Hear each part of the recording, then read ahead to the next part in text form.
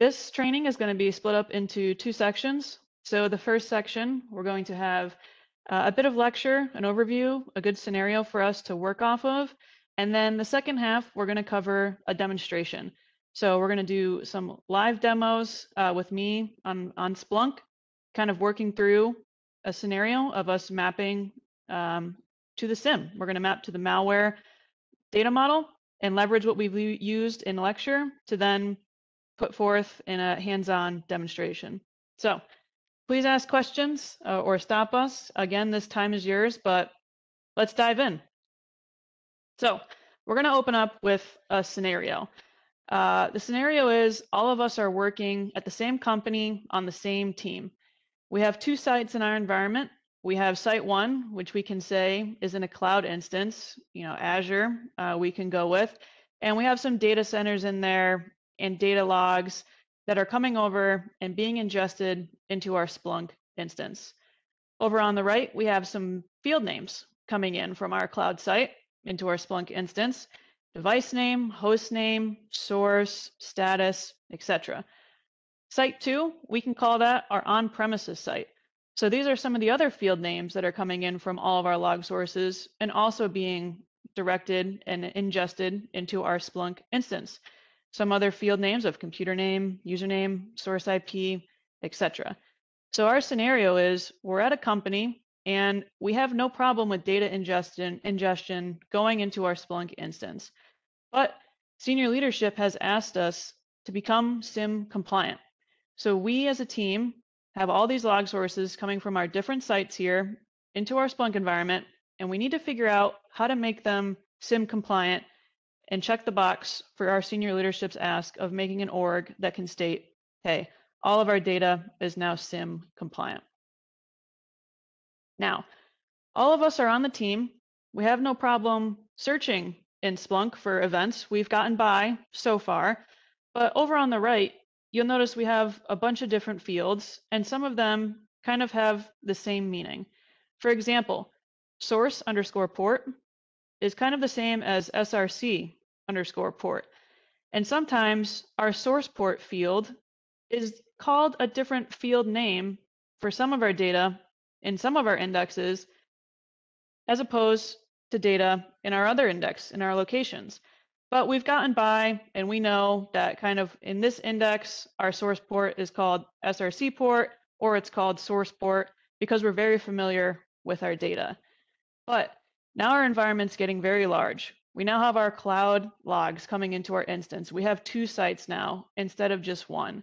So our question is that we ask of the team is how do we solve working together better as a team to know when we're saying, for example, on the left here, I drew out some fields, when we're talking about the host name of a machine, how do we have some commonality between us as team members to say, it doesn't matter where that field is coming from in our log sources or from what data set. We all want to call it the same field of host. So let's say if it was coming in as host name from data source one, and now it's coming in as device name from data source two, we all want to be on the same page and say, let's just call this one value of host.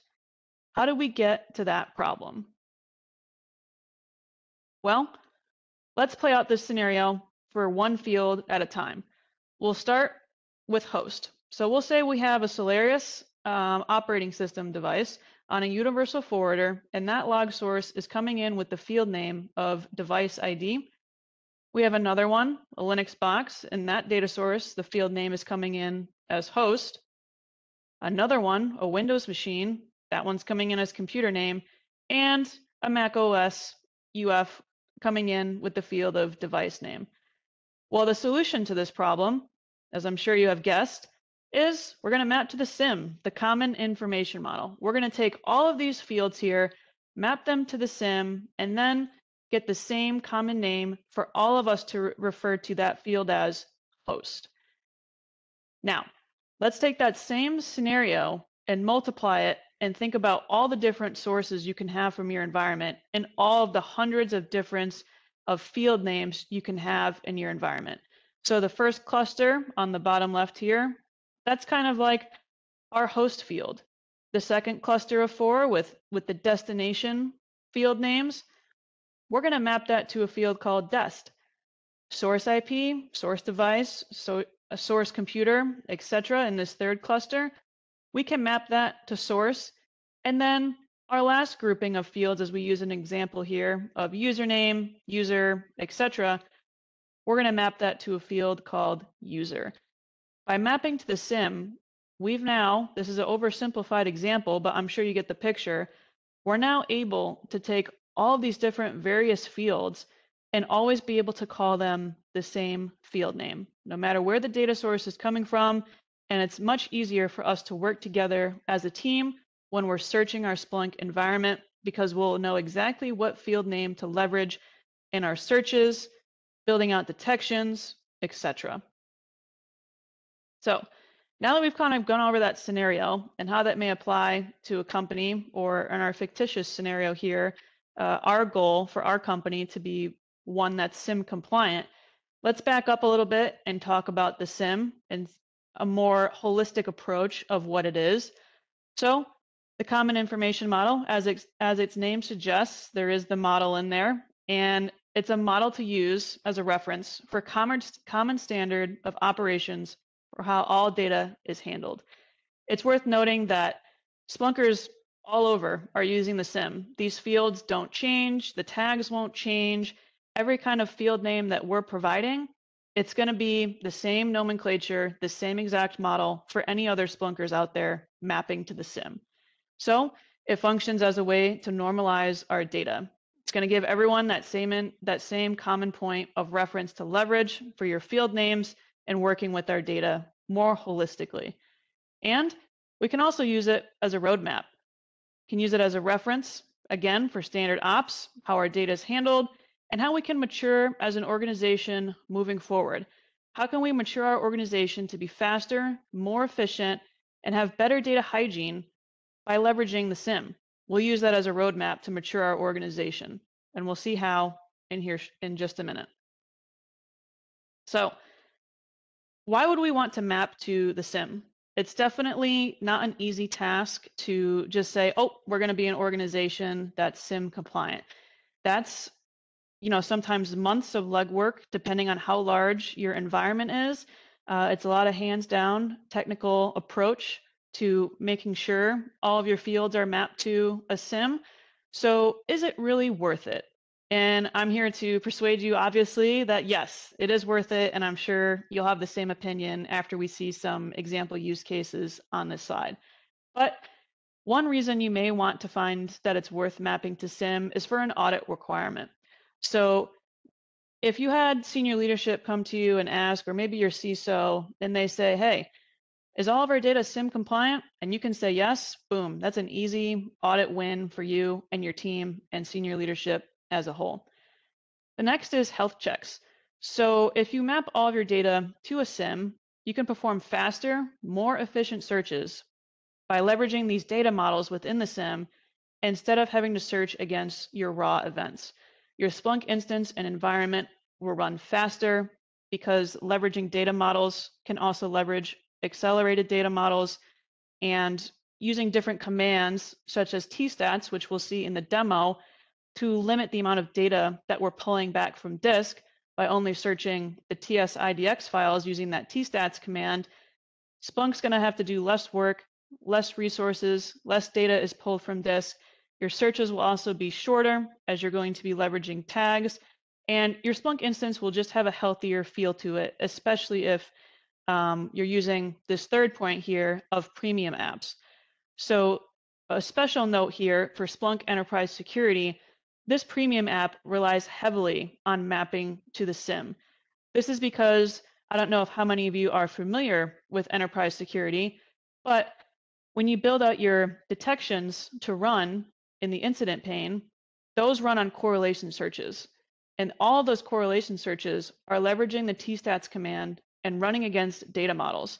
And obviously, data models are mapped to the CIM, so if you have none of your fields or events going into the premium app of enterprise security to then leverage and run against in a correlation search, you're going to be missing out on your events. So ES, enterprise security, relies heavily on mapping to it And if you're an organization that's using it, mapping to the CIM is going to be a must, not exactly optional or even the question of worth it. It's you're going to have to do it. So some of the sales points there. But for me, in green here, I kind of put it in my own words for why I would want to map to the CIM if I'm an analyst, a team lead, uh, a SOC manager, director, CISO, etc. First being, we're going to have easier and more concise detection searches because we're going to have fewer fields to work with. We're also going to increase our accuracy for our Splunk searches to run, as we mentioned, for our health checks. And it's going to be less work to maintain our Splunk environment after we're mapped to the CIM. Because if you think about it, the examples that we've given, if we had to maintain all of those different field names compared to maintaining one concise um, CIM field name, it's going to be a lot less work because it's less fields to track. The uplift of mapping to CIM may take a bit to get there, but once we are there, the maintenance from that point on will drop off drastically.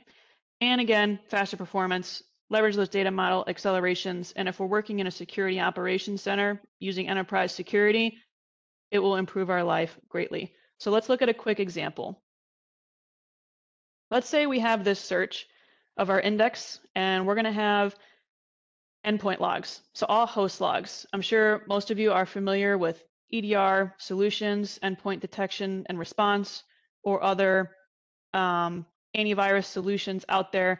Let's say we have two AV solutions to work with here that are going into our index of endpoint logs.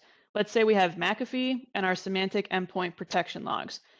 In order to search across those logs for having a process run and having it flagged as malware, we would need to know what field and what field value in our McAfee source type and in our Symantec endpoint protection source type gets us those values. So as you can see here in McAfee, the action needs to be process ran and the process hash needs to map to known malware. And in Symantec, we would have to have the field and field value of event description malware ran. That's a lot to keep in the mind of someone who's trying to build out these detections or someone who's very familiar in our environment um, with our logs, fields, and field values. Now, if we take this example and we map it to the CIM, leveraging tags, data models, event types, enriching our data, um, and having commonality, well, we can accomplish this same search by typing tag equals malware, action equals blocked. I don't know about you, but if I were anybody on my team, I would definitely uh, prefer to only type the latter field as it's a much shorter, easier to remember search to run in Splunk that would get the same exact job done for the search in black there. And our team will be more efficient and happier to work in this type of searching type uh, environment. So to sum it up here, we've talked about our scenario and what the CIM is and the advantages of why we would want to map to it. And that's great. But how would we do it? How would we actually do the act of mapping to the CIM? Well, this slide here outlines everything in steps. So first step being, well, we have to get our data in. As we covered in the scenario, we're an organization that has no problem with data ingestion. Everything's in there, and we've been able to get on with our searches without having any drops in logs. So number one's checked for us. Our data is in. The next step we do have to pay attention to is to examine our data. We need to get more familiar for what field and field value is which and kind of look at it and evaluate it against what fields it might map to on a CIM data model. So that will take some research on our end, and it's usually the most time consuming task when you're an organization who starts having this goal data familiarity, and mapping out what's going to go where. Three and four, creating tags for our events. Once we know, like that search example provided on the previous slide, what we're trying to tag, we can have those and validate them and see them in our Splunk instance. And we'll use the appropriate tags to map to the correct data model, which will effectively map to the CIM. We can normalize our fields as well. As we talked about going through this process, the CIM is a way to act as a data normalizer for your environment by having common field names and validate against a model, map it to a data model, get that acceleration going, etc. And six and seven are worth mentioning here that they are optional, um, but definitely advantageous to do step six. Step seven, definitely optional. You can package it as an add-on and have that run in your environment um, to become CIM compliant as well. But definitely steps one through five uh, are critical in order to get your fields mapped to the CIM. And I put a note up here. Don't forget, don't forget about TAs, our technology add-ons. These, if you find them on Splunkbase, they may do steps two through seven for you or two through five for you because they're going to be an app or add-on that is CIM compliant, meaning they already have the correct field name associated to map to a data model or a field that exists within the common information model. So always a best practice in Splunk to search on Splunkbase for any kind of TA that will help you with your data ingestion or data normalization progress that's also CIM compliant and taking a, a, lot of burden off of you and your team by having the TA app or add-on do the work for you.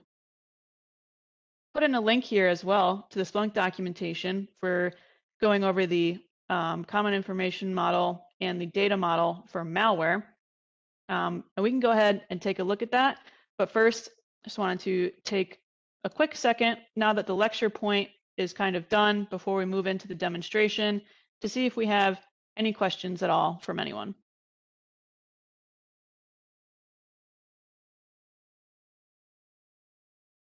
If you have a question, please raise your hand.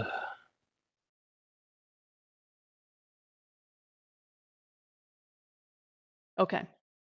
Well, if that um, changes, we're always available in the Slack channel and you can post your question there. But I think uh, that's enough of the lecture. We can dive into the hands-on demonstration here and carrying over from lecture, that link that I had posted, this is present here.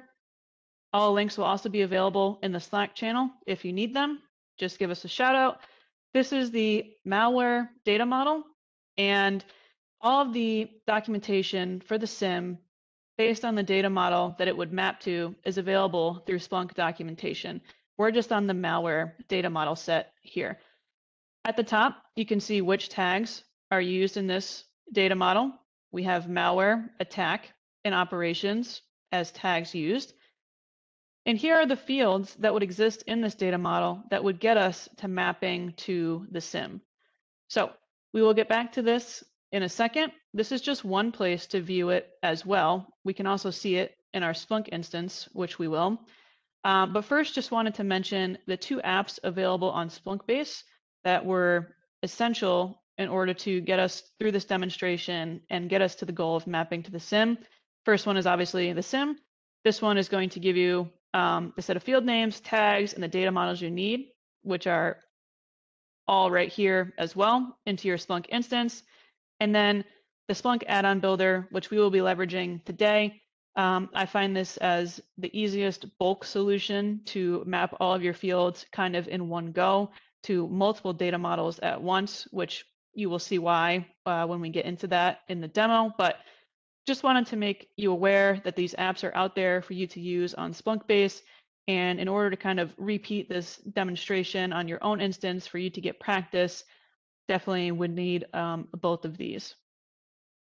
Okay, so we are on our Splunk instance, and the goal here for this demonstration is to get us to map some of our events to the data model of malware. So we can start with a simple query, a tstats count from data model,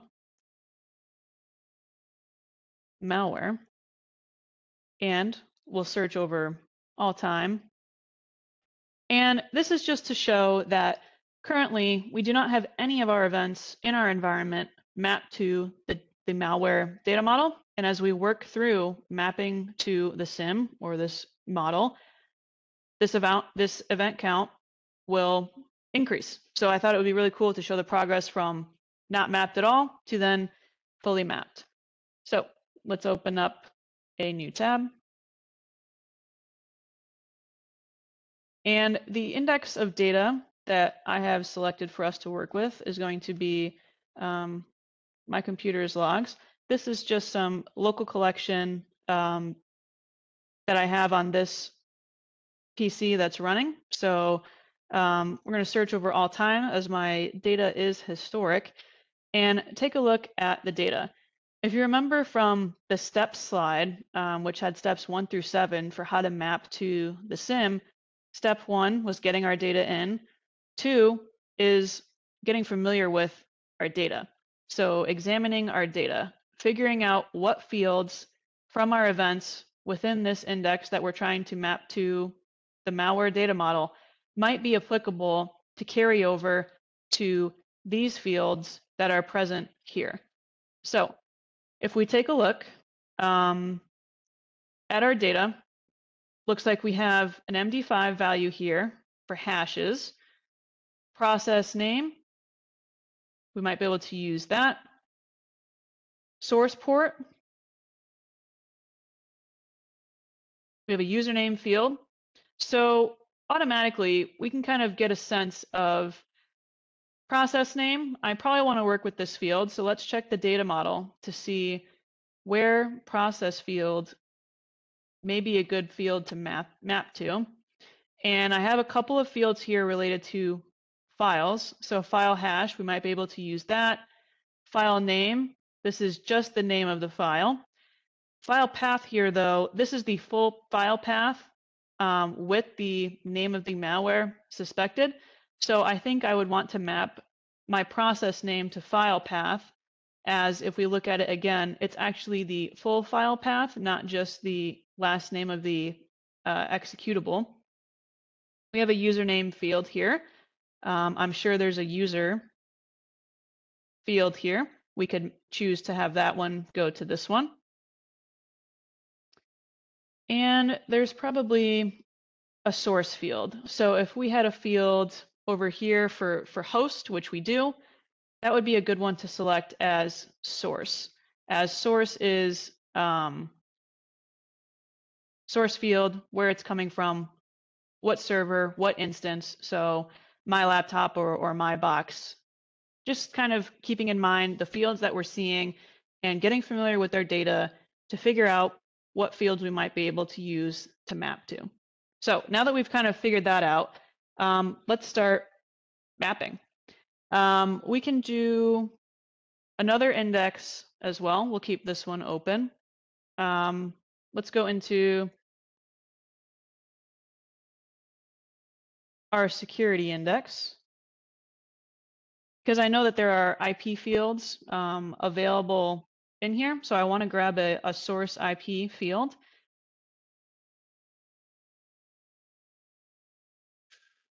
So source IP, we can pick any of these IPs here to work with as an example. I'll pick the um, 87.194.216.51 IP.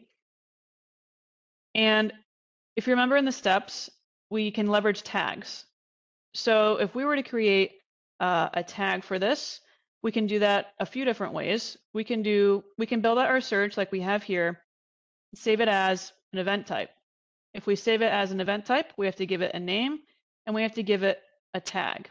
And if we remember from the malware documentation, the tags were malware, attack, uh, and operational. So if we gave it the tag of malware and gave it a color, this would assign it that way as an event type. But we can also um, kind of just save it as its field on its own by dropping down on an event. And if we see the source IP field is here, so if we click on action, edit tags, this is where we can customize them as well. And it's as simple as putting in malware. If we wanted to label this IP um, as something malicious, or maybe it's a known C2 channel, um, that's reaching out in our environment, and we need to flag this as a known IOC or indicator of compromise as a malicious IP, we can go ahead and create that tag, and click Save. And we can view our tags by going to Settings, Tags, List by Tag Name, and I'll just filter on the ones that I have created. And we see here our tag of malware has been created with our field and value pair, and it's enabled. So there's our tag.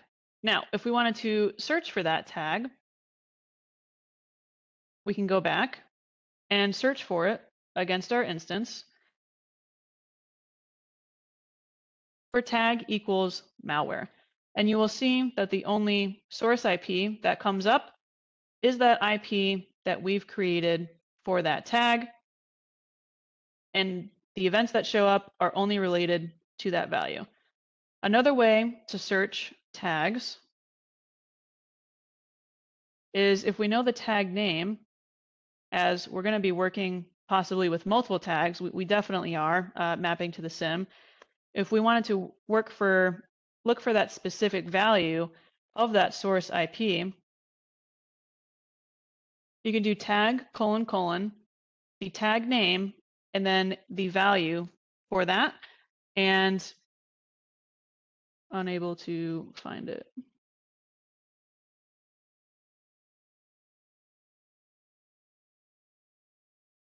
I would expect the results to show up there. Um, tag malware.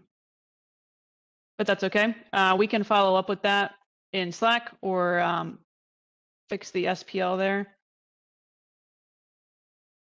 I wonder if that was the same uh, source IP that we used. I think it was, right? Yeah.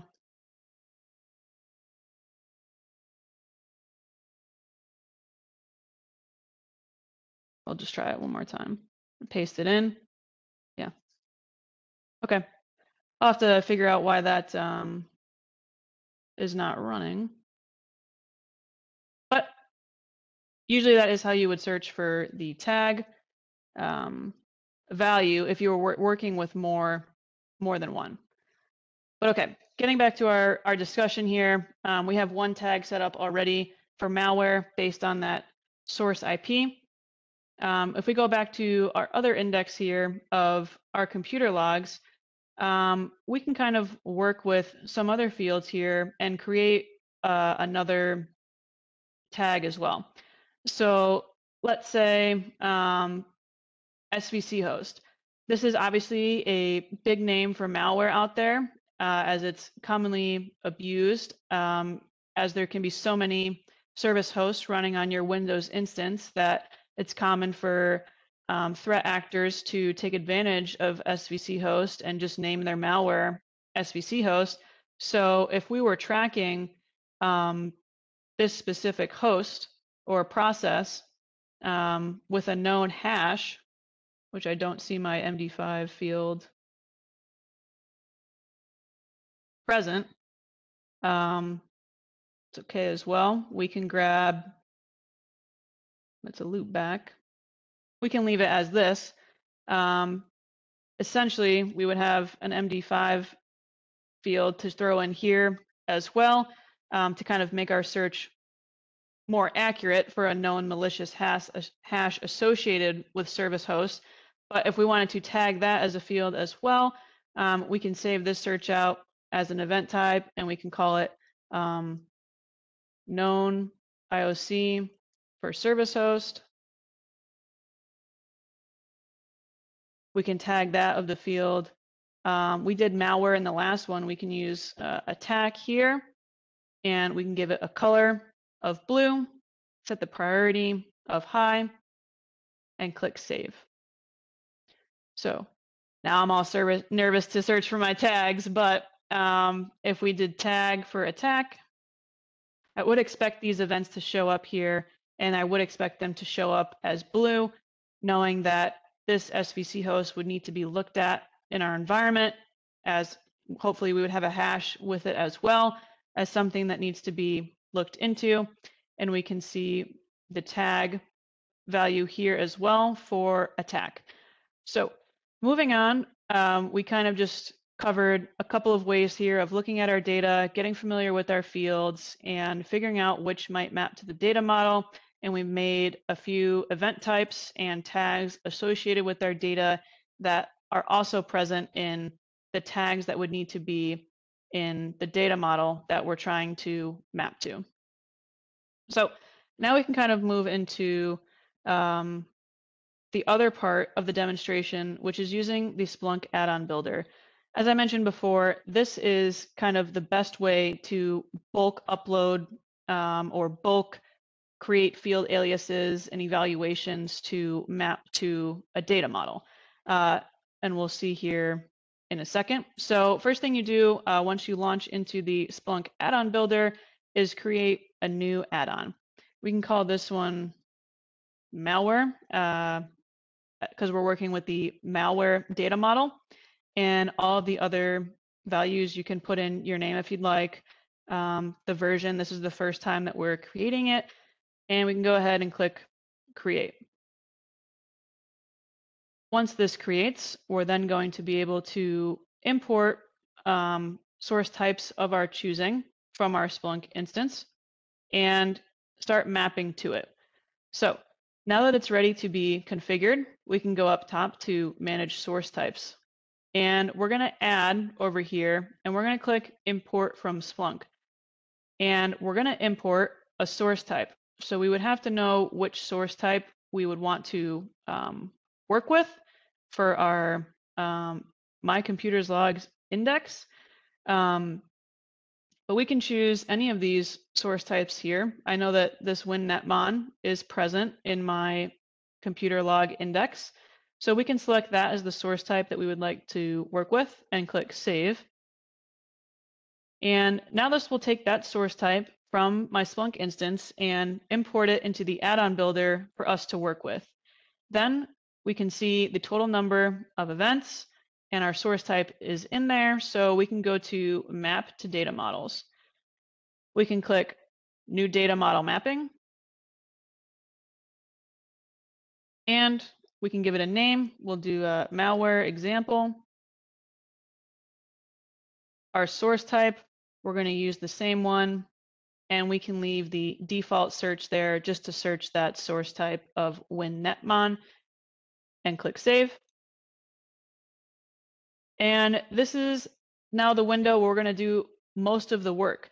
So if we remembered back at the beginning of the demonstration, we had all of our fields here. We were getting familiar with our data and we said, hey, maybe process name um, would map to file path, username might map to user, host to source, etc.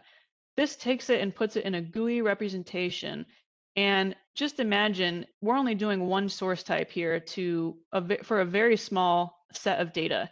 You can do this for multiple source types, multiple um, data ingest sources that you have, and map to also more than one data model at a time. So it's very easy to do it through this compared to what we just finished wrapping up, which was um, picking which fields, adding the tags, creating event types, and doing it that way. Here, we can do it um, in bulk, all right in front of us. So if we go over here, this is our uh, event type that came in from the left as imported from Splunk. On the right is where we're going to select a data model. And this is where you need the CIM add-on from the CIM app from Splunkbase, because this will provide you with all of the CIM data models. And we're working with malware. And we can select both root and child data data sets from the malware data model to work with. And like I mentioned before, if we were working with more than one data model, um, you could also select it here, be no problem, and import more source types. So once that is set, we can select that data model. And now over here, we only have the malware data model and these fields should look familiar as they match all the same fields that are listed here in the documentation. So then it's as simple as creating a new field alias. And from our event type, let's just stick with the same fields that we were working with. Um, I'm very lazy and this add-on builder GUI makes it very easy for you to not even have to type out your um, field names. So we can grab that process name and if, if you forget what it was, you, um, if you forget what the values were associated to this field name, as you saw before, you can kind of hover over it and it will give you a small preview. Or if you forget, you can go back to your Splunk instance and reference it. But that's why that second step of getting familiar with your data is so important. Um, and we wanted to map this to the data model field of file path because file name would be just the name of the malware, but this had the full file path associated to it, and we can click OK. This will now create um, the alias of process name to call it file path, and it will be present in the data model. We can do this again. Uh, we worked with username to enter over here, user, click OK. And we can do one more just for proof of uh, example. Um, we could do, maybe we had host to go to source, source machine. And essentially we've created three field aliases in a very short amount of time once you're satisfied with mapping your fields over, um, they kind of highlight in green for the ones that you've already mapped. Um, as you can imagine, it would get pretty daunting for multiple source types that you're working with um, and multiple data models. You can select done. And if you wanted to validate it as well, um, you can, and that will kind of go through the preparation steps needed to do so. But the add-on, um, since it's obviously associated to our main instance here, uh, if we were to rerun this search again, I would expect our event count to go up as those field aliases are being created and our tags that we created are also associated with the tags to the malware data model and everything seems to be um, upticking as we would expect. So we've taken a few fields from our data sets and um, successfully mapped them to the data model, which means we are CIM compliant. Um, the last thing that I want to show is the other place to view where your data models are present. So this is in settings, data models, and we can just take a look at the malware data model here quickly, uh, noting that it's not accelerated um, and that we could change it if we wanted to to have an even healthier Splunk instance. But clicking into it, um, you can see the tags here match the Splunk documentation. Um, the fields are all the same as well.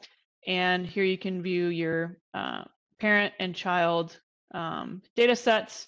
And if we wanted to pivot into it here as well to get a different viewpoint of our data model, I would expect the count of the malware um, data model mapping for our fields to be similar to our tstats search that we ran.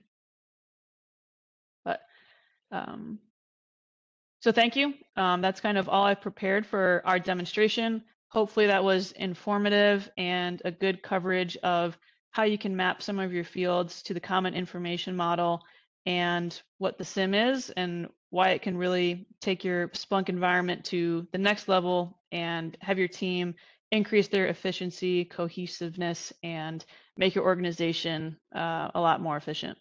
Thank you.